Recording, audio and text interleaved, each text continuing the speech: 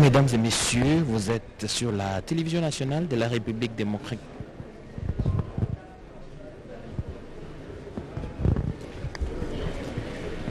La République démocratique du Congo, je disais, c'est poursuivre en direct cette plénière, la plénière qui va aujourd'hui avoir apparemment un seul point à l'ordre du jour. Il s'agit bien entendu de l'adoption du rapport de la commission mixte paritaire Assemblée nationale Sénat sur la proposition de loi organique portant protection et promotion des droits de la personne vivant avec handicap. Cette loi a été débattue ici. Une commission euh, mixte avait été mise en place au Sénat, socioculturel et PAJ. On a bien débattu sur la loi, on l'a bien voté ici à la, au Sénat, curieusement ou euh, euh, malencontreusement. C'était dans les termes euh, non identiques avec les termes de l'Assemblée nationale et comme le prévoit la Constitution et les règlements intérieurs des deux institutions. Il a été donc mis en place une commission mixte, une commission paritaire, Assemblée nationale, Sénat. Cette commission a travaillé sur cette proposition de loi organique. Et aujourd'hui, le rapport va être présenté au Sénat, il en sera de même à l'Assemblée nationale. Et ainsi, le rapport, euh, dès qu'il est adopté, il ne restera plus que l'envoi de la loi organique au président de la République pour promulgation. C'est donc euh, de tradition. Euh, comme ça se passe dans tous les et dans tous les parlements, j'allais dire, à présentation bicamérale. L'Assemblée nationale vote, le Sénat vote également. Quand ce n'est pas en des termes identiques, on met en place une commission paritaire pour harmonisation des vues. Mais si jamais il se trouve que le Sénat et l'Assemblée nationale ne se sont pas euh, mis d'accord, c'est la version Assemblée nationale qui passe. Mais je crois que pour cette fois, la loi organique euh, qui a été débattu à la plénière du Sénat et à la plénière de l'Assemblée nationale. Les vues ont été harmonisées entre les deux institutions et je crois que ce sera plus facile. Ici, la Commission présentera le rapport et l'Assemblée et la plénière va analyser et adopter probablement le rapport qui sera présenté par euh, les membres de cette commission paritaire Assemblée nationale Sénat. Cette loi est donc euh, euh, très importante pour la prise en compte et la promotion des questions qui oblitèrent l'épanouissement des personnes vivant avec handicap en République démocratique du Congo. Ils sont ici pour la plupart du temps quand euh,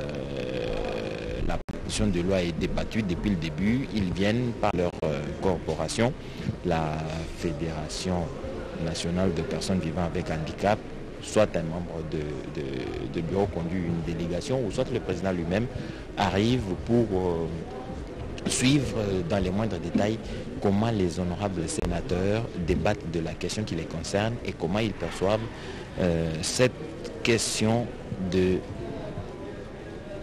personnes vivant avec handicap. Ils ont été là au moment de l'analyse de, de la question par le Sénat.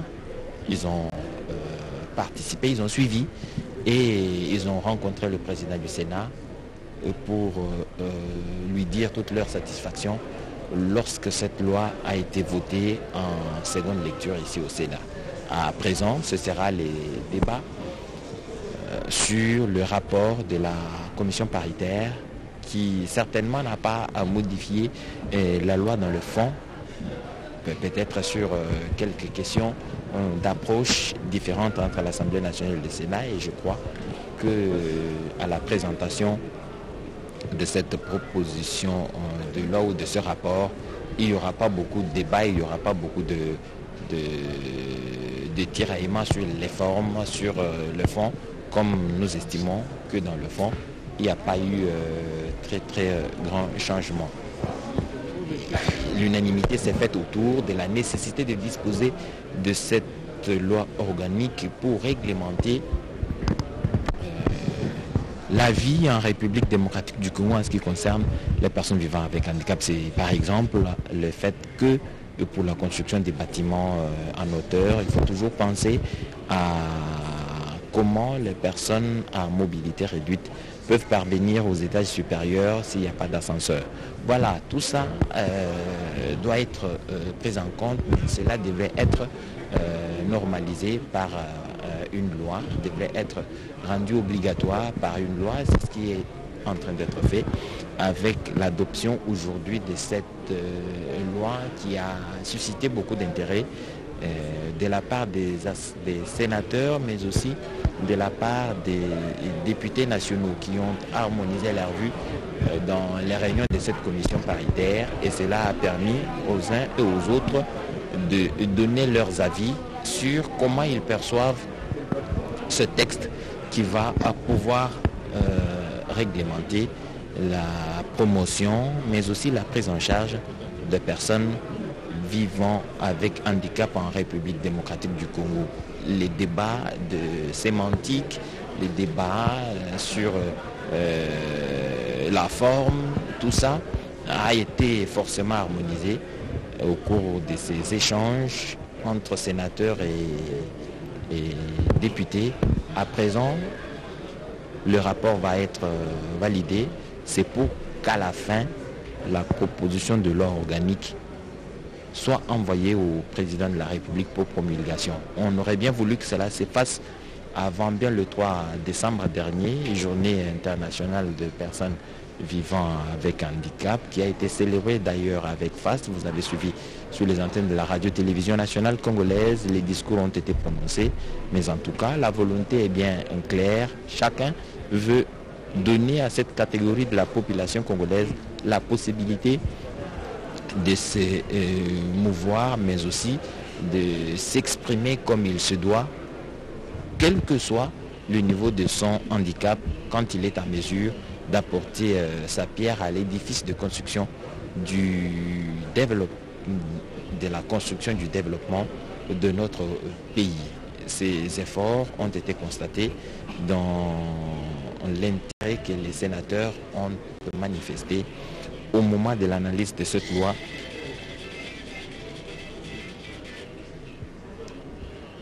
dans l'analyse de cette loi ici au Sénat.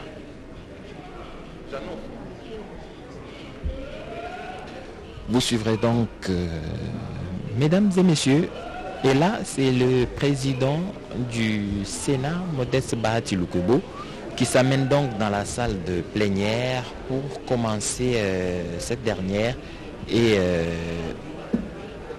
apporter la touche du Sénat à ce rapport qui va être présenté certainement par les honorables sénateurs qui ont participé à cette commission paritaire, la commission paritaire était mise en place Sénat, Assemblée nationale pour permettre l'harmonisation des vues sur cette loi portant promotion des personnes vivant avec handicap en République démocratique du Congo. C'est le président du Sénat Modeste Bati et tout le bureau qui rentrent dans la salle de plénière dans quelques instants. Ils prendront place à la tribune et le marteau retentira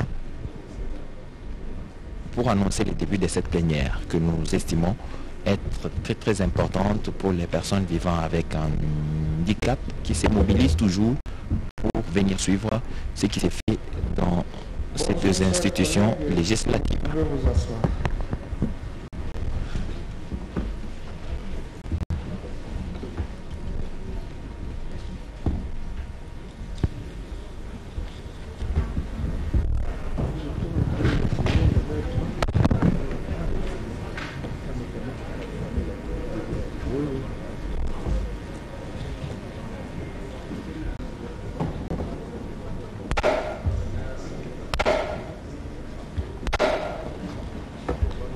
La séance est reprise.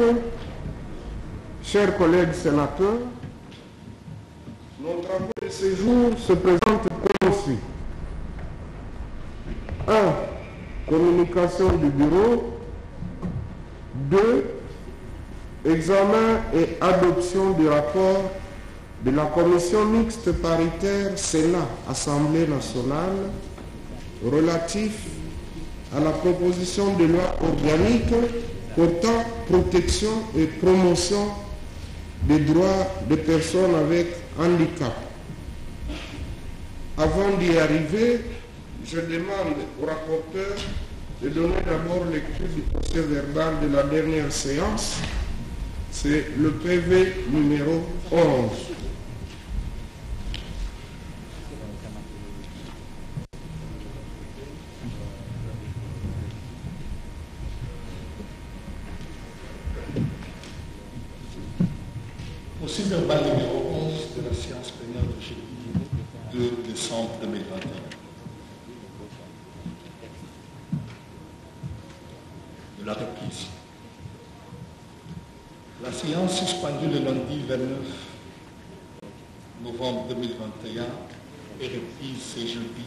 2 décembre 2021 à 11h21 dans la salle de conférence internationale du Palais du Peuple sous la présidence de l'honorable Modeste Bahati Puebo, président du Sénat.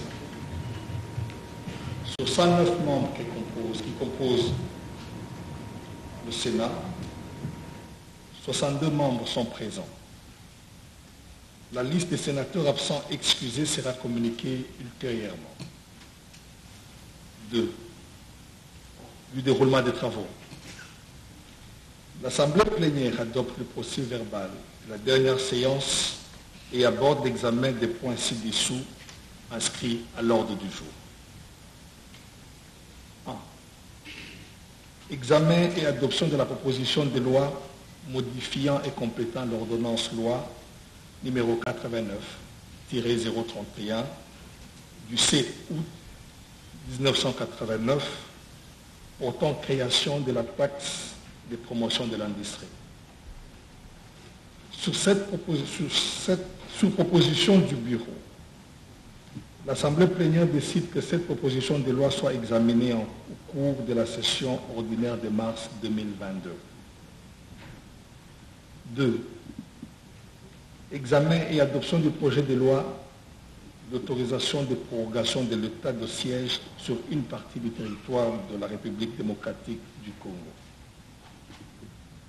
Après la lecture par le rapporteur de la correspondance numéro 21, barre 013, du 29 novembre 2021, du président de la République, adressé au président des deux chambres du Parlement, le vice-ministre à la Justice présente l'économie de ces textes de loi.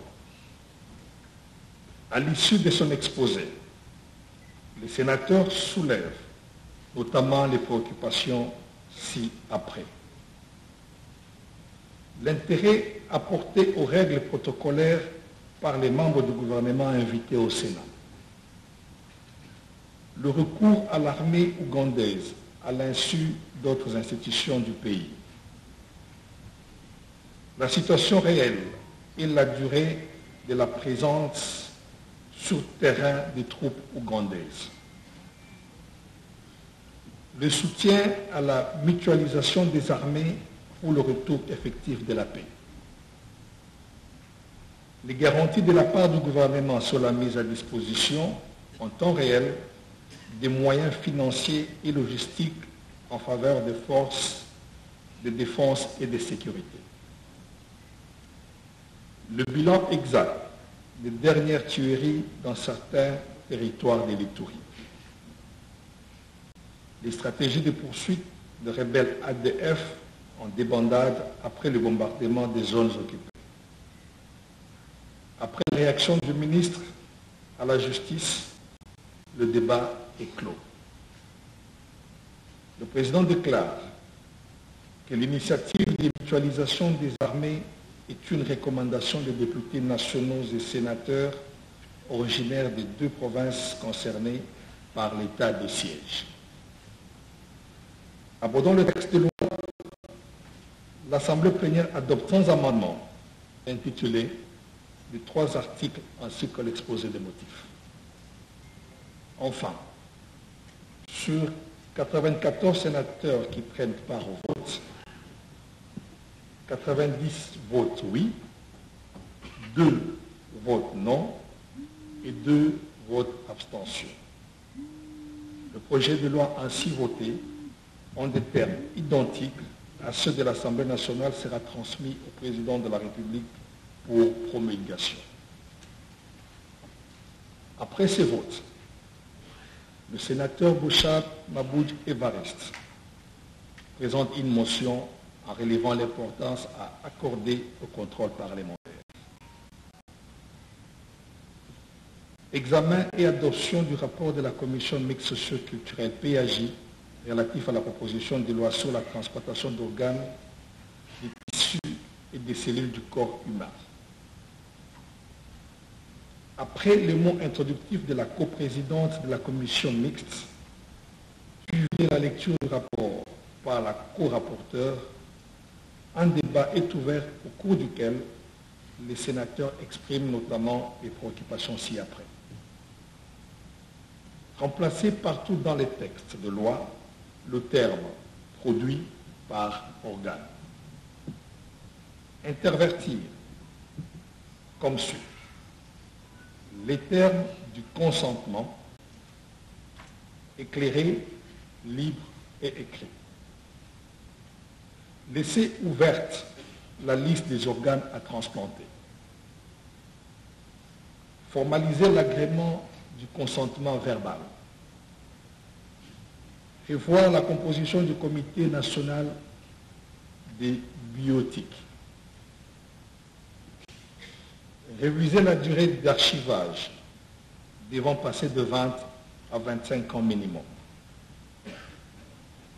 Remplacer à l'article 85 et suivant l'attribut agréé par autorisé. Après la réaction de la commission mixte, le débat est clos et le rapport adopté. Un délai de 48 heures est accordé à l'Assemblée plénière pour le dépôt des amendements et le même délai à la commission mixte pour les examiner. Sur ce, le président suspend la séance et décrète un huis clos au cours duquel le bureau présente le rapport financier couvrant la période de mars à août 2021, examiné et adopté à l'unanimité. Il est 14h10 fait à Kinshasa le 2 décembre 2021. Merci, monsieur le rapporteur. Il s'agit du rapport financier et administratif. Chers collègues sénateurs, vous venez de suivre la lecture du procès verbal numéro 11. Je demande aux collègues sénateurs qui auraient des observations de les transmettre par écrit en ayant 48 heures auprès du rapporteur. Nous allons donc, sous réserve d'observations éventuelles, adopter ce procès verbal. Veuillez le manifester. Qui sont pour Merci. Qui sont contre? Merci. Qui s'abstiennent? Merci. Le procès verbal numéro 11 est adopté. À présent, nous abordons le point relatif à la communication du bureau. Elle porte sur le congrès que tiendront nos deux chambres parlementaires le lundi 13 décembre 2021 à 11h. Elle sera consacrée à l'audition du discours de son Excellence Monsieur le Président de la République sur l'état de la nation.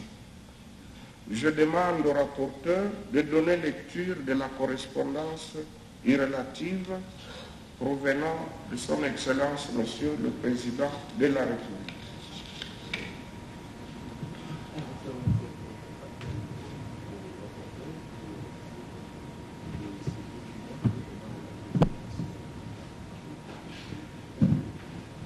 Correspondance du Président de la République aux honorables présidents de l'Assemblée nationale, président du Sénat, numéro 21, bar 014 du 3 décembre 2021.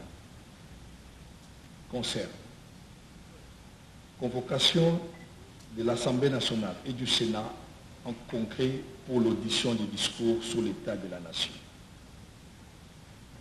Honorable Président, j'ai l'honneur de vous saisir, conformément aux dispositions pertinentes des articles 77, alinéa 3, 119.3 et 120 de la Constitution, afin de solliciter la convocation de l'Assemblée nationale et du Sénat siégeant en congrès. En effet, donnant plein effet aux dispositions précitées, j'ai résolu de prononcer les discours sur l'état de la nation pour l'année en cours, ce lundi 13 décembre 2021 à 11 heures précises. Ainsi, je vous prie de prendre les dispositions idoines afin d'organiser le congrès à la date visée et faciliter à la population congolaise d'auditionner mon discours sur l'état de la nation. Veuillez agréer, honorable président, l'expression de ma parfaite considération. Fait à Kinshasa le 3 décembre 2021, Félix Antoine Chilombo, président. Tshisekedi Chilombo. Merci beaucoup. Chers collègues, vous venez donc euh, de suivre la lecture de, son de la lettre de, son Excellence, Monsieur le Président de la République. Et donc, nous sommes conviés au congrès qui se tiendra le lundi prochain. Il faudra arriver bien à temps parce que, comme vous le savez, il y a des dispositions protocolaires et sécuritaires à prendre. Nous abordons à présent l'examen et l'adoption du rapport de la commission mixte paritaire Sénat. Assemblée, Président. Assemblée nationale. Oui. Oui. Oui. Collègue Matata. Au nom du Président, je voudrais intervenir par motion incidentielle en ce qui concerne ma situation particulière d'un sénateur qui euh, qui a été traduit en justice et dont euh, les immunités parlementaires ont été levées et qui a été aussi interdit de quitter le pays bientôt sept mois. Vous vous souviendrez, honorable président, chers collègues sénateurs, c'est à l'issue d'un réquisitoire du procureur général près de la Cour constitutionnelle sur le présumé détournement des fonds du parc agro-industriel de Bukangalozo qu'un vote en plénière s'est fait dans cette salle où les sénateurs ont rejeté la requête du procureur pour que je sois poursuivi en justice et que mes immunités soient levées. En principe, dès le 15 juin date à laquelle ce vote a été exprimé par la majorité des sénateurs, mes immunités devaient être retournées. Ma liberté des mouvements, conformément à la Constitution et au règlement intérieur de la Chambre à laquelle j'appartiens, devait être retournée. Rien n'a été fait et ceci en contradiction de la Constitution et des règles du pays. Le 28 juin, un autre réquisitoire a été déposé au Sénat pour que je sois entendu sur un autre dossier sur le bien aérianisé, où on m'accusait encore d'avoir détourné près de 140 millions de dollars américains que j'aurais payés au fictif. Et profitant de cette euh, mesure, on a renforcé l'interdiction de mes sorties à l'extérieur du pays et on a confirmé la levée de mes immunités qui, comme vous le savez, ça a été fait par le bureau parce que euh, le Sénat était donc euh, en vacances parlementaires. Conformément aux usages Honorable Président, chers collègues sénateurs, je me suis rendu au parquet près la Cour constitutionnelle pour être entendu. Pendant deux semaines, j'ai été entendu et à la fin de cette audition, le procureur général Jean-Paul Moukolo a dit ceci devant mon avocat. Monsieur le sénateur Matata, votre dossier est vide et donc le dossier doit être classé sans suite. Vous devez en principe être retourné à votre résidence en toute liberté, mais compte tenu des pressions que je reçois de l'extérieur, je suis obligé de vous mettre en résidence surveillée. Parole du procureur général près la haute cour. Je m'attendais à ce que, par rapport à ces constats amers à ma faveur, que mes humilités parlementaires, qui constituent en fait un droit, ce n'est pas un don que j'ai bénéficié du Sénat, mais c'est un droit du fait que j'ai été élu, que mes immunités parlementaires me soient retournées et que mes libertés de mouvement soient rétablies. C'est le contraire que j'ai reçu parce que quelques jours après, le procureur général, près de la haute cour, a décidé de réinitialiser les dossiers Boukangalos pour lesquels, je l'ai bien dit ici, le Sénat en plénière s'était totalement opposé. J'ai, par la suite, comme vous le savez, honorable président, parce que c'est de notoriété publique, juste après mes auditions, j'ai été empoisonné. J'ai écrit pour que je sois autorisé à sortir et recevoir les soins appropriés, parce que c'est un droit fondamental. Il y a des juristes dans cette salle, il y a des constitutionnalistes dans cette salle. Les soins de santé, même à un terroriste, on autorise à ce que les terroristes soient soignés avant d'être jugés. Mais moi, le procureur général a dit, Monsieur le sénateur, pour que vous soyez soignés, il faut d'abord que vous puissiez être interrogé sur le dossier Bukangalonzo et sur lequel la plénière du Sénat a refusé. Par honneur au droit, j'ai dit, Monsieur le procureur général, je ne saurais pas répondre à vos questions s'agissant de ce dossier. Et donc, j'ai été refusé de se faire soigner à l'extérieur du pays, de la même façon que mes immunités parlementaires sont restées toujours ôtées. Je n'ai pas été entendu sur les dossiers Pranganos. Mais le procureur général, faisant fi à toutes les règles de ce pays, y compris du règlement intérieur du Sénat, a envoyé mon dossier en fixation à la Cour constitutionnelle. Tous les juristes professionnels, les spécialistes en droit, au Congo comme à l'extérieur du pays, m'ont demandé de ne pas répondre à la convocation de la Cour constitutionnelle pour être jugé. Pourquoi? Parce que ce n'était pas conforme aux lois de la République par élégance, pour éviter à ce que certaines personnes qui pensent qu'on refuse de se présenter devant la loi, non pas parce qu'on veut respecter les règles établies, mais parce qu'on a peur d'être jugé parce qu'on a détourné l'argent, j'y suis allé. Lors du prononcé du 15 novembre 2021, la Cour constitutionnelle, la haute cour de ce pays, s'est déclarée incompétente pour me juger en alléguant les violations flagrantes et intentionnelles du procureur près de la haute cour qui a utilisé des subterfuges juridiques, mais considérant comme si j'étais un Premier ministre en fonction. Honorable Président, chers collègues, le prononcé de la haute cour, qui, selon mes informations, a été notifié aujourd'hui au bureau du Sénat, dit clairement que je ne peux plus être poursuivi étant donné que mon juge naturel n'a pas été prévu par la Constitution.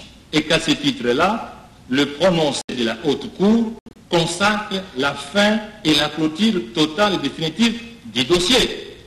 Cela a été dit dans la salle, l'arrêté a été diffusé, il circule dans l'Internet, mais curieusement, le procureur général près de la haute cour, parce qu'il s'agit d'un acharnement politique envers un individu, écrit une lettre auprès du président de la Cour pour dire, comme vous vous êtes déclaré incompétent, je, je, vous demande de me transférer ces dossiers pour que je puisse les retransférer à la Cour de cassation pour compétence.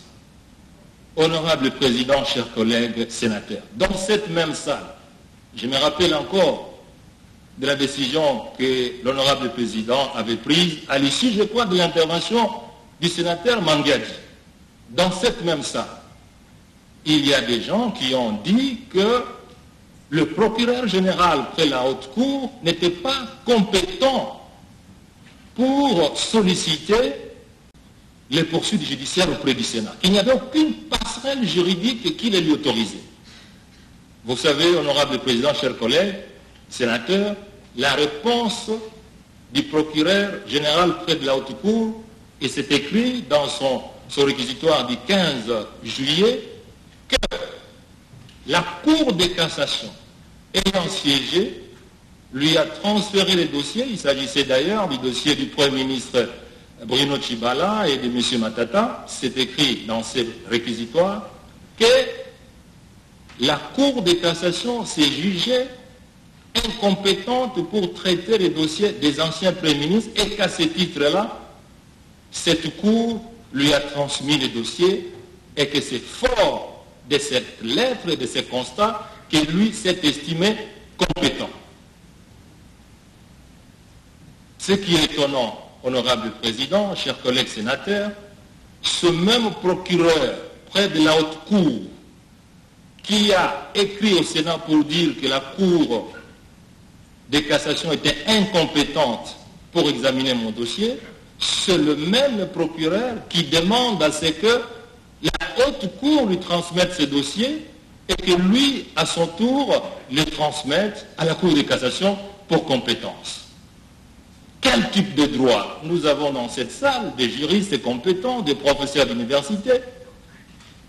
Quel type de droit peut-il permettre qu'une Cour se déclare incompétente aujourd'hui et cinq mois après, elle se déclare compétente pour examiner un dossier? Je ne suis pas juriste, je parle sous le contrôle des juristes, bien que je suis un autodidacte depuis sept mois, que je suis devenu prisonnier politique du procureur général de la haute cour, j'ai appris quelques notions des droits. Mais il est dit que le droit pénal est un droit où l'interprétation est de stricte rigueur, qu'on ne peut pas spéculer parce que le droit pénal, c'est un droit qui traite de la vie des hommes et des femmes. Honorable Président, chers collègues, dans quel pays peut-on prendre en otage pendant sept mois quelqu'un dont on est incapable de justifier le détournement même de 1 dollar Les rapports de l'inspecteur général des finances disent ceci c'est écrit que tous les détournements que je fais, je les fais par rétrocommission au travers le responsable de l'entreprise Commodities qui gérait le parc agro-industriel et Bukangalos. Le procureur général, près de la haute cour, dans son réquisitoire, il dit la même chose, que M. Matata a détourné de l'argent qui lui ont été remis par M. Christophe Grobler gestionnaire du parc agro-industriel à l'époque. Que ce soit l'inspecteur général des finances, que ce soit le procureur général de la République, tous deux ont tout fait pour que M. Christophe Grobler ne soit entendu. Ce n'est pas moi qui l'ai dit, c'est M. Christophe Grobler lui-même qui dit que ni l'inspecteur général des finances, ni le procureur général près la haute cour n'a fourni un effort pour l'interroger. Deuxièmement, que les deux ont tout fait pour qu'ils ne viennent pas ici au Congo. Dieu merci, la force de la justice, de la lumière est telle que vous pouvez beau mentir, mais un jour, il y aura toujours la vérité. Mais c'est Christo Grobler, gestionnaire du parc agro-industriel de, de, Bukangalonzo, honorable président, chers collègues, est ici à Kinshasa, venu de lui-même depuis un mois et dix jours il a accordé une interview à la presse publique et il a déclaré qu'il n'a jamais remis un dollar ni à Matata, ni à son épouse, ni à ses enfants, ni à quelque structure que ce soit ayant des liens directs et indirects avec M. Matata. Que dois-je faire, honorable président, parce qu'on m'accuse de détourner de l'argent que je n'ai pas détourné Que dois-je faire aujourd'hui? La haute cour, parce qu'au-dessus de cette haute cour, il n'y a plus quelque chose qui existe en termes de droit. Cette cour dit ceci, que le dossier sur M. Matata est clos définitivement. Est-ce qu'un procureur général près de la haute cour, parce qu'il a des visées politiques sur un individu, peut-il se mettre au-dessus de la loi et dire qu'on ne peut pas me retourner mes droits de mouvement comme si ce n'était pas un droit fondamental lié à chaque citoyen, qu'on ne peut pas rétablir mes, indemnités, enfin, mes immunités parlementaires comme si c'était un don qu'on m'a donné? Que dois-je faire, honorable président, chers collègues, que de demander à ce que le Sénat puisse s'impliquer de manière que mes libertés de mouvement soient rétablies et que mes immunités parlementaires soient rétablies. Voilà, honorable président, l'objet de, mon intervention de tout à l'heure. Je vous remercie. Merci, chers collègues. Euh, je serais tenté d'ouvrir un débat sur euh, ce dossier. Mais lorsque, d'abord avant toute chose, nous voudrions vous exprimer toute notre solidarité. Parce que lorsque l'un de nous est atteint par euh, une situation malheureuse ou heureuse, nous nous sentons tous concernés. Et donc nous vous exprimons toute notre solidarité et notre compassion. Je disais que j'étais tenté d'ouvrir un débat pour qu'on s'exprime dans un sens tout comme dans un autre. Mais malheureusement, l'article 151 de la Constitution nous interdit formellement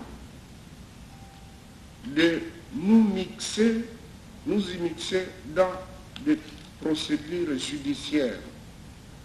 En d'autres termes, le Parlement, le pouvoir législatif, article 151, alinéa 2, dispose que le pouvoir législatif ne peut ni statuer sur des différents juridictionnels, ni modifier une décision de justice, ni s'opposer à son exécution. Ceci veut dire que le jour où nous serons notifiés formellement, nous allons tout simplement exécuter la décision qui nous sera communiquée. Il vous revient donc de demander à vos avocats de faire diligence pour que d'abord les contradictions des juridictions que vous relevez ici fassent l'objet d'un examen, mais également que nous puissions être notifiés le plus rapidement possible. Et donc, à notre niveau, ce serait violer la Constitution que d'engager un débat sur une question qui est déjà au niveau de la justice. Il faut dire que ce dossier a été fortement médiatisé nous avons suivi les positions, vos positions, les positions de ceux qui euh, sont avec vous. Nous, au niveau du bureau, nous avons agi conformément à la Constitution et au règlement intérieur. Pendant les vacances, le bureau statut, après avoir examiné le dossier, c'est ce que nous avons fait, cette décision, vous l'aviez contestée devant toujours les juridictions. Vous êtes allé au Conseil d'État pour dire, voilà, pour attaquer notre décision. Et l'arrêt du Conseil d'État était que nous, bureau, nous avions agi conformément à la Constitution et à notre règlement. Donc à partir de ce moment-là, nous, tout ce que nous pouvons faire, c'est d'attendre que la justice puisse nous donner une décision contraire. Donc à ce stade, même si nous engageons un débat de 10 heures ici, nous n'allons pas conclure et nous n'avons pas le droit de conclure sur une procédure judiciaire. Nous regrettons ce qui vous arrive, mais malheureusement, nous ne pouvons pas engager un débat là-dessus. Sinon, nous allons commencer à critiquer la Cour, elle se contredit. Euh, d'une part, elle dit, le, M. Chibala était ancien Premier ministre, sa, juridiction, c'est la Cour constitutionnelle. Et lorsqu'on on reçoit le dossier de l'ancien Premier ministre Matata, on dit que ce n'est pas de la compétence de la Cour constitutionnelle, nous ne pouvons pas nous engager dans ce débat-là. Parce que c'est un débat euh, qui est à un autre niveau, au niveau du pouvoir judiciaire. Mais nous vous exprimons une fois de plus toute notre compassion. Nous regrettons ce qui arrive, mais malheureusement, nous sommes tenus de respecter la Constitution. Voilà ce que je peux vous dire euh, à ce stade, chers collègues. Pour le reste, demandez à vos avocats de faire diligence pour que nous soyons notifiés de la décision.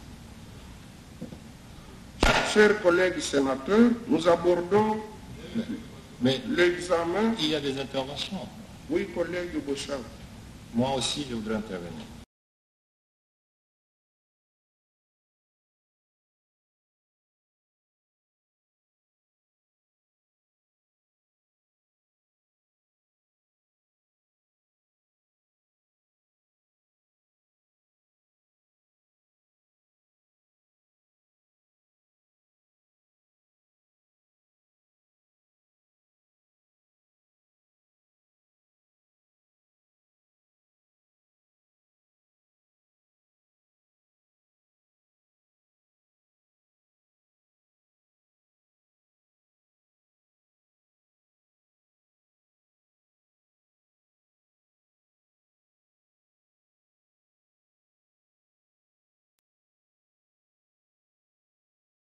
Sont des droits fondamentaux des sénateurs que pose le collègue Matat.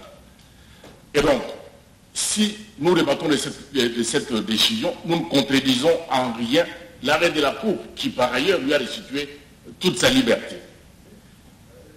Si, dans, tous les cas, je, voulais d'abord dire au président que la Cour, la Cour de cassation s'étant d'abord déclarée préalablement incompétente, le principe qu'il a évoqué est simple non bis in idem.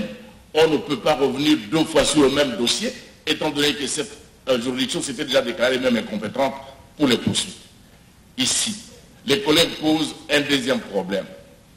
À partir du moment où les immunités ont été levées, et on conclut au non-lié, il n'y a rien, pas de poursuite. Y a-t-il une autre procédure pour qu'il puisse récupérer ses immunités? J'ai dit non.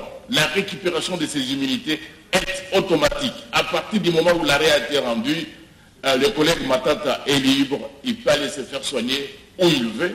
Tout ce qu'il veut ici, c'est le soutien, comme vous l'avez dit euh, au noir président, le soutien de cette Chambre. Et nous devons nous opposer qu'on puisse l'empêcher.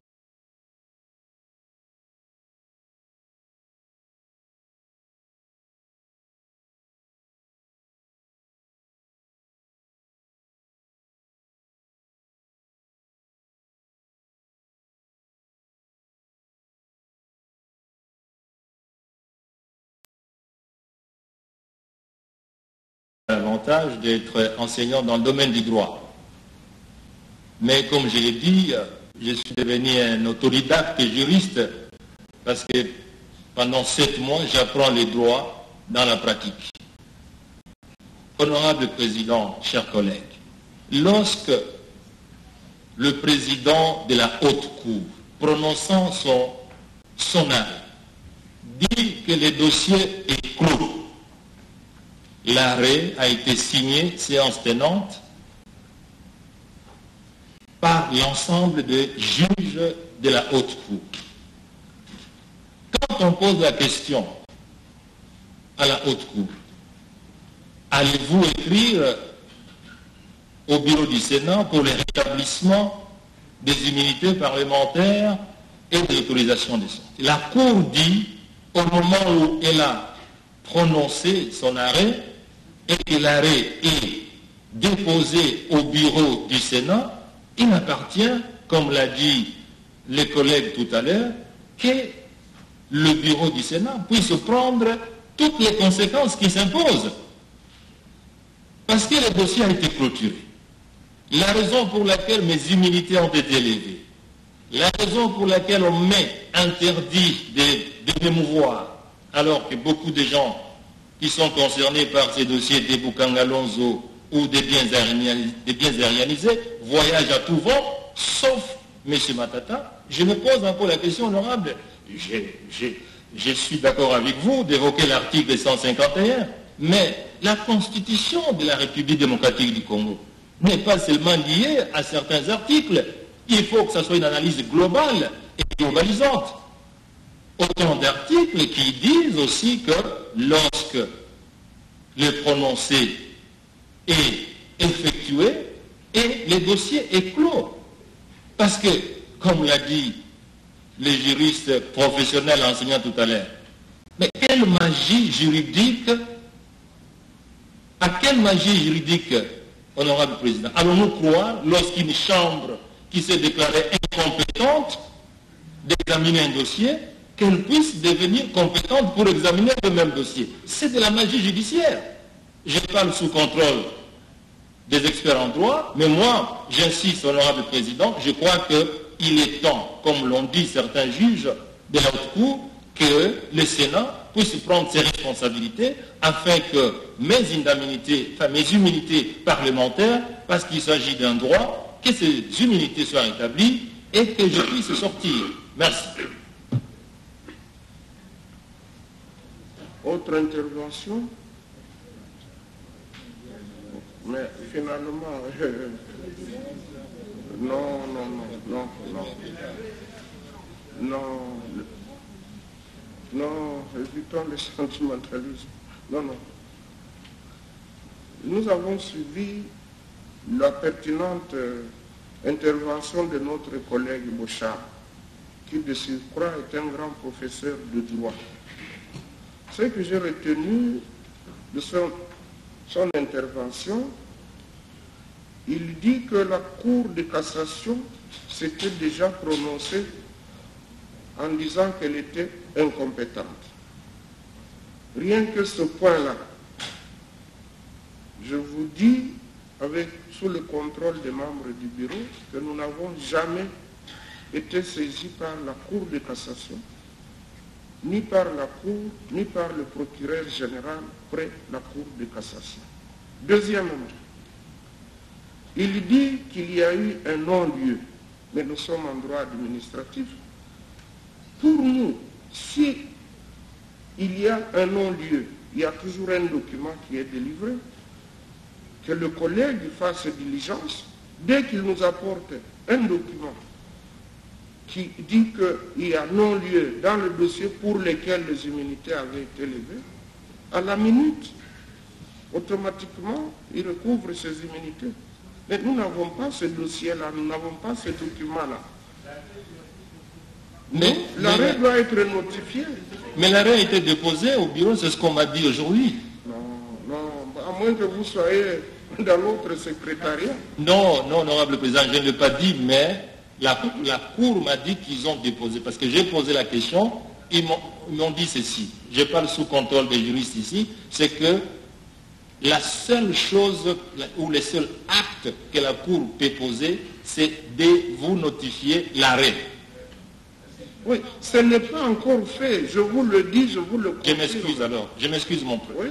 Je m'excuse honorable. Parce que là, vraiment, vous voulez nous prêter des intentions. Nous non, ne je sommes pas notifiés. Vous pouvez gagner un procès, mais tant qu'il n'est pas notifié, vous ne pouvez rien, faire, absolument rien. Donc, si aujourd'hui, comme vous le dites, que vous êtes bien informés que nous serons notifiés, ça va être automatique, chers collègues. Il n'y aura même pas de procédure particulière. Oui. Il n'y aura pas de procédure. Nous allons juste vous adresser un courrier pour vous dire que vous êtes rétablis dans vos immunités et tous les droits qui y sont afférents. Donc il n'y a aucun problème. Voilà. Merci beaucoup. Merci beaucoup. Nous abordons l'examen et l'adoption du rapport de la commission mixte paritaire Sénat-Assemblée nationale relatif à la proposition de loi organique portant protection et promotion des droits des personnes avec handicap. Je rappelle que le, lundi 29 novembre dernier, nous avions voté cette proposition de loi en des termes non identiques à ceux de l'Assemblée nationale. Une commission paritaire mixte avait été mise sur pied en vue d'aplanir les divergences. Cette commission a achevé ses travaux. Les documents y vous ont été distribués. J'invite les membres du bureau de cette commission mixte à venir se placer devant le podium.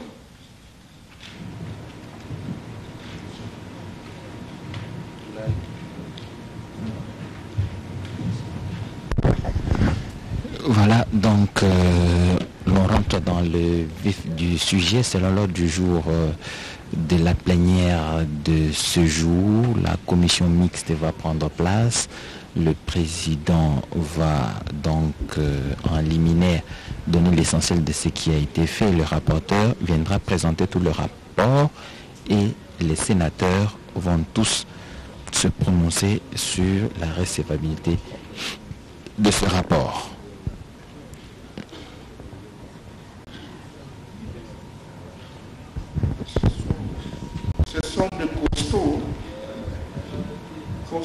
Costaud, intellectuel. Voilà. Je donne la parole à la coprésidente de la commission mixte paritaire pour un mot introductif. Honorable présidente.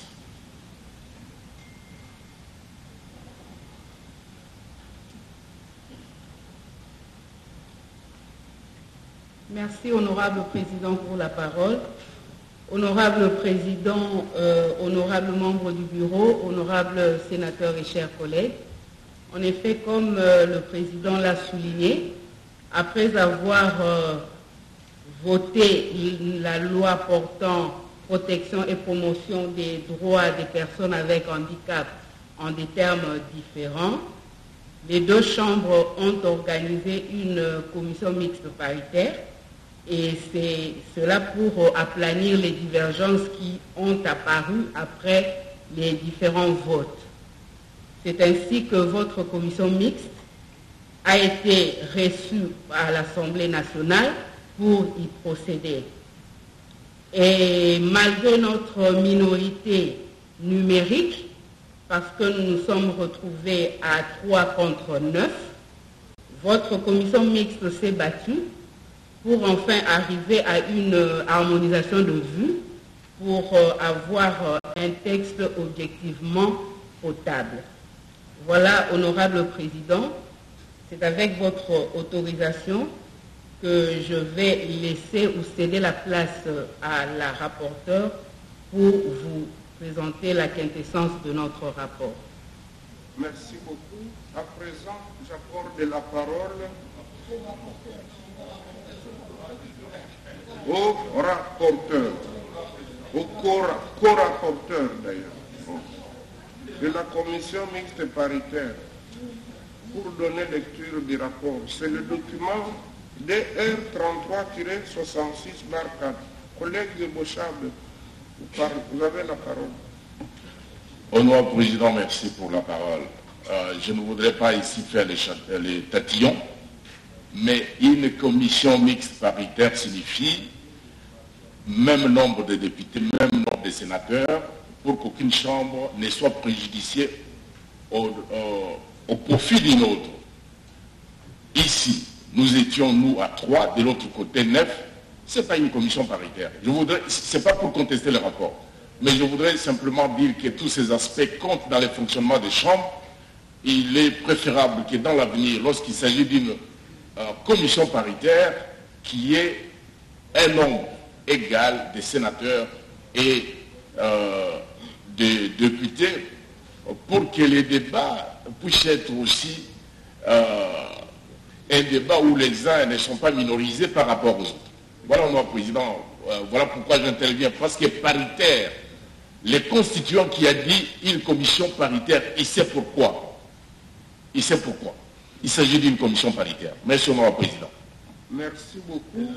Je prends votre intervention pour une interpellation de tous nos collègues sénateurs. On n'a empêché à aucun membre de participer à la commission paritaire. Et si j'ai bien compris, c'était 3 sur 9, pas 3 et 9 de l'autre.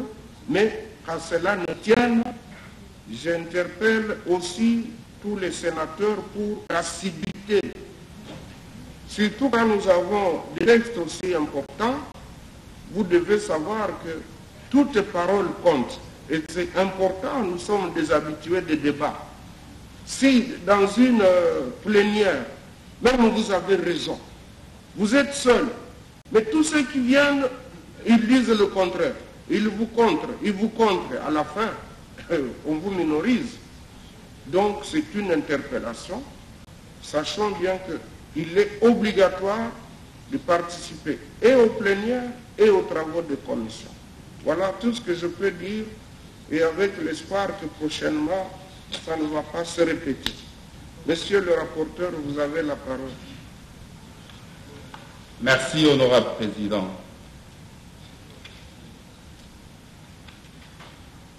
Honorable président du Sénat, honorable membre du bureau, honorable sénateur et chers collègues.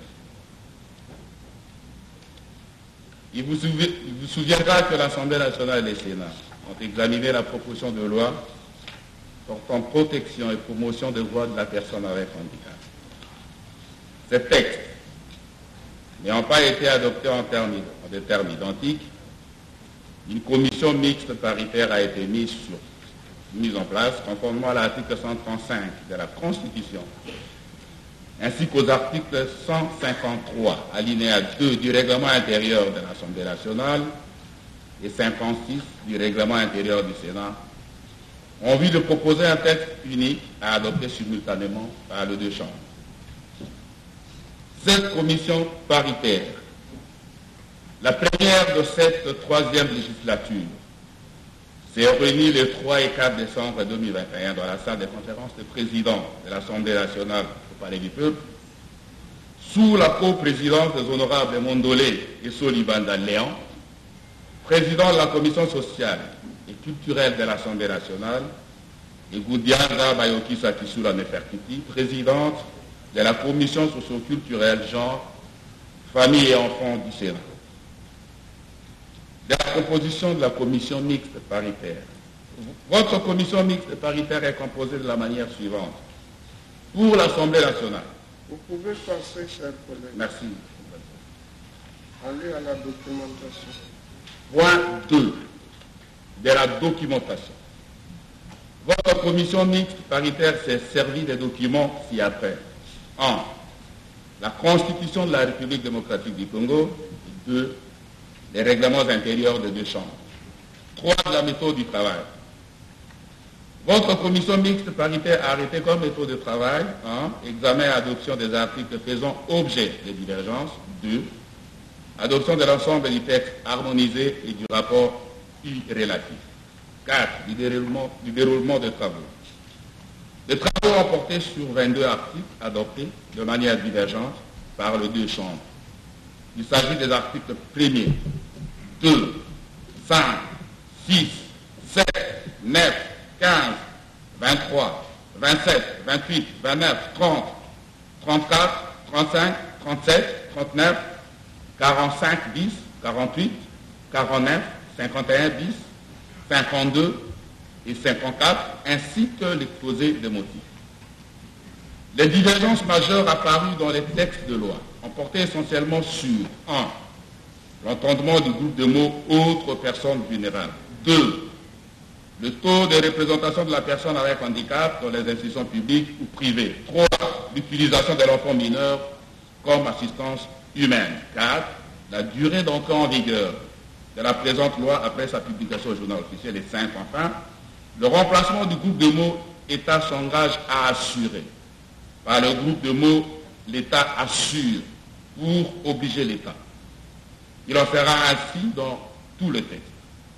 Après avoir aplani toutes les divergences, toutes ces divergences, votre commission mixte paritaire vous propose des textes harmonisés en annexe au présent rapport.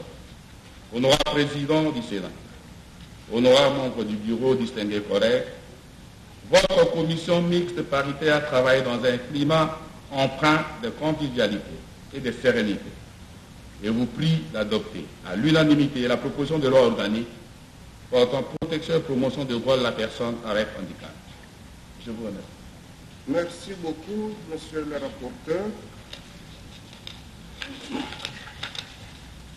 Chers collègues sénateurs, vous venez de suivre la lecture du rapport de la commission mixte paritaire sur la proposition de loi sous examen. Il en ressort que toutes les divergences de forme comme celles de fond ont été aplanies. Et je dois féliciter nos collègues, bien qu'ayant été minoritaires dans la commission mixte, leurs points de vue ont été pris en compte. Nous allons donc adopter ce rapport ainsi que toutes les dispositions harmonisées. Veuillez le manifester. Qui sont pour? Merci. Qui sont contre? Merci. Qui s'abstient? Merci. Le rapport ainsi que toutes les dispositions harmonisées sont adoptées. Je demande aux membres du bureau de la commission mixte de regagner leur place au sein de l'hémicycle sous nos applaudissements.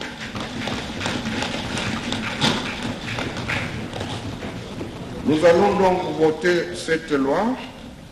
Nous allons procéder au vote de cette loi par l'appel nominal. Rapporteur, vous avez la parole. Lorsqu'on appelle votre nom, vous répondez soit par oui, soit par non, soit par abstention.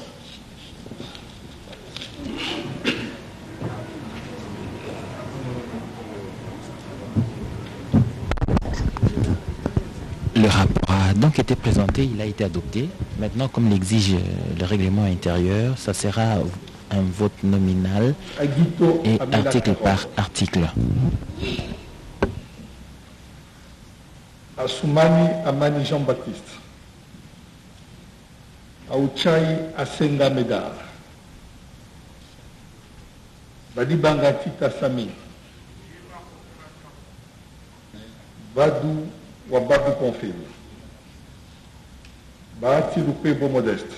Oui, Bakomito Ngabou Jean. Balebila Basile. Bampunga Ndumbo Mbeteke Richard. Baopoko Baike Lydie. Batumoko Afonzunde Jean-Pierre. Bayukita Makula James. Bazego Tebuseli Papi. oui, par procuration. Mbemba Ndoko Françoise. Bikenge Moussimbi Jérôme. Bolingo Botakile Denise. Bocha Mabout Evariste.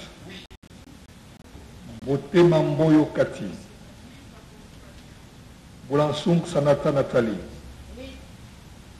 Chikez Diemo Gisla. Dacio Mokfetali. Ekanga Lushima Moïse. Endundo Bolonge José. Etumba Boyongo, Boyengo Tristan. Guérengo Vene Valentin. Goya Kitenge Bijou. Oui, par procuration. Ilanga Bakonga Rigel. ilunga chivwila ogi. Ilunga kitombole alain. Imana bile norbert. Inyoki l'enfer sacré. Kabamba waumba isabelle. Kabanda kayoboti pierre. Par procuration. kabedi kazadi micheline kabila kabange joseph. Kabwe mweu longo isidore. Oui par procuration. Kambai chimbumbu denis. Kamitatu marie josé sona. Kamonji na serwa ida. Kanyimbu shindani michel. Oui. Kapia ntumba katuma mukalai viki kaumba lufunda. Kazandigoi gabriel. Kazadinyembwe dedone kibaya munembwe jean pierre kidima nzumba ida.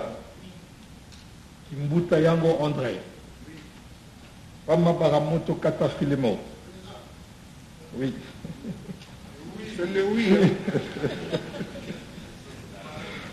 funda kisenga irene il ne faut pas distraire le général. lelo nzazi roli lilongo buchili banza jalori lubala birwashirwa patrick Oui, par procuration. lukamata nkulu colette bakamoyo victorine mabaya gizi amine jean filbert Oui, par procuration. Quand il est arrivé, makangu kabongo jean gédek makila sumanda josé. Mamboleo muguba itunda milambo léon. Oui, par procuration. manza anja dedone mangiadi bifulu eme patience mapenzi maneno. Matata ponyo mapon augustin mbonga magalo engwanda louis Oui, par procuration. Mbouingoy Odette,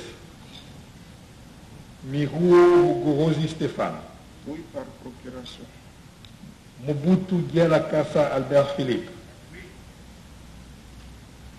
Mokelo Mumba Kebeke Celestin James,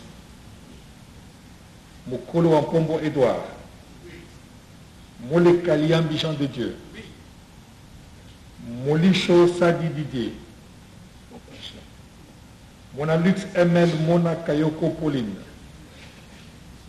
Mosisi Makota Mike, Oui, par procuration. Payi Mompele Fidèle, Mwaka Mwaka Roger, Mukalai Kionde Célestine Hortense, Mukinti Baobili Jean, Mumengi Chigudi Didier, Mundela Kanku Edi, Mungwanajo Boye Kombo Dedonet, Mutombo Bebe Hippolyte, Muyamba Ngove John, Muyumba Foura Francine, Muzangisa Mutalenu Laurent, Mwafwa Bopali Frédéric. Cette fois-ci, j'ai vraiment insisté. Moi, foi Bokai. Mwando Katempa Christine. Mawatadi Banjila Chibondo Boni. Mwenda Bantu Mulongo Godefroy. Ngabani Bovoli Adonis. Mbonda Doli Nestor. Ngudiaza Bayokisa Kisula Nefertiti. Mikomba Sabangu Madeleine. Tumbambouyi Floré. Oui, par procuration. Komba Peninjunga Raymond. Pande Kapopo Célestin. Oubouye Akizimwami Eric. Salabia Isabakana Augustin. Samaki Anibituni Norbert. Sanguma Temongonde Mosai. Che Okitundu Lundula Léonard. Tambwe Mwamba Alexis. Tibasima Bongemu Aetemi. Ukechi Muswa Rudi Alphonse. Ulungu Ngunda Lukata Bertol. Uweka Ukaba Pierrot. Vunabandi Kanyamigo Célestin. Oui, par procuration. Zabalafio Angala Jean-Pierre. Zeta Bamanisa Anita. Ziaka Angelani Ange. Oui.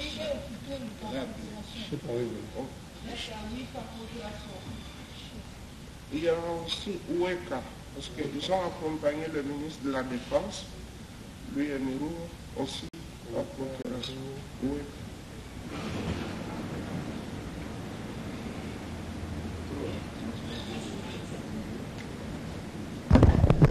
Là, on est dans les comptes des nombres de votants pour que le président communique les résultats du vote sur euh, cette loi harmonisée entre le Sénat et l'Assemblée nationale à travers la commission paritaire qui a été mise en place pour cette loi organique. Portant promotion cette loi organique portant protection et promotion des droits des personnes vivant avec Chers handicap. collègues sénateurs, voici le résultat du vote.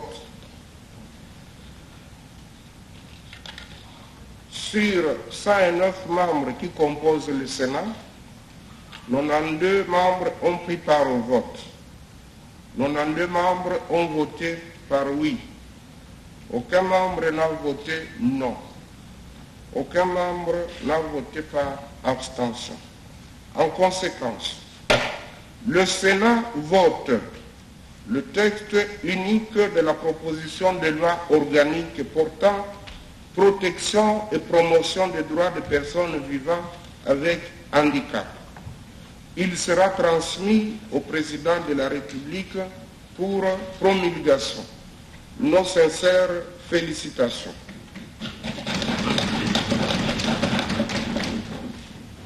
Avant de clôturer la séance d'aujourd'hui, je voudrais rappeler aux collègues sénateurs qu'il y a des mesures euh, contre la Covid-19 qui ont été prises par le gouvernement.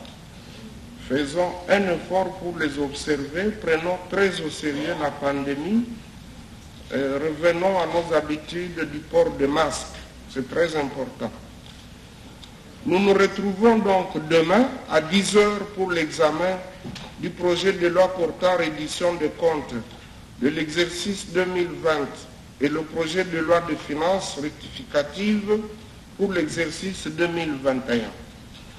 Nous avons adressé ce jour des courriers aux différents membres du gouvernement euh, qui doivent venir répondre aux préoccupations de certains collègues qui leur ont adressé euh, qui, des questions orales écrites, qui des questions orales avec débat. Nous avons pensé mettre à profit la journée du mercredi quant à ce, parce qu'il faut vous rendre compte, chers collègues, que nous n'avons plus de temps, il n'y a plus assez de temps. D'ici le 15, nous devons déjà euh, clôturer la session. Or, il faut que les lois essentielles aient été adoptées, notamment la loi de finances, mais il y aura, la loi d'habilitation, sans oublier que le 13 décembre, pratiquement une demi-journée sera consacrée au discours de son Excellence, Monsieur le Président de la République, mais cela ne pourra pas nous empêcher de travailler après ce discours-là, parce que nous tenons à prendre nos vacances après le 15, donc nous devons travailler d'arrache-pied. Nous souhaitons la bienvenue à nos collègues qui étaient partis, ceux de la province ex-orientale, qui étaient partis à la célébration du 1er décembre euh, en mémoire et en souvenir de la bienheureuse Nengapeta. Et nous demandons qu'ils puissent intercéder pour nous et pour le pays. Elle et, et Bakanja, tous les deux, qu'ils puissent intercéder pour notre pays afin que nous puissions sortir de la misère qui nous accable alors que le pays est béni et regorge de beaucoup de ressources. Sur ce, la séance est suspendue. Amis téléspectateurs, vous avez donc suivi la plénière de ce jour qui a porté sur l'adoption de la euh, loi organique portant euh, protection et promotion des droits des personnes vivant avec handicap. C'était une euh, commission mixte paritaire, Assemblée nationale Sénat, qui avait été mise en place pour analyser les divergences qui avaient été constatées dans les deux versions, version Assemblée nationale et version Sénat. Les divergences ont été aplanies, le rapport a été présenté, la plénière a adopté ce rapport et article par article. Et par appel nominal, 99 sénateurs ont donc adopté cette loi, mais auparavant, le sénateur Matata avait évoqué sa situation, sollicitant ainsi l'intervention du bureau du Sénat pour qu'il soit rétabli dans ses droits avec euh, ses humanités qui doivent lui être retournées, mais aussi ses libertés de mouvement qui doivent ces libertés de mouvement, je disais, qui doivent être euh, euh, retournées également pour qu'il se comporte totalement en homme libre et qu'il aille se faire soigner comme il se doit. Voilà donc, amis téléspectateurs, vous avez suivi depuis le Sénat cette retransmission en direct de cette plénière. Merci de nous avoir suivis et bonne suite de programme sur la télévision nationale.